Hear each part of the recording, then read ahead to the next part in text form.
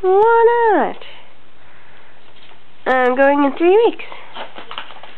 No, crazy girl. mm. Not too bad. I'm having a deal right now. Uh, $89 uh, one way.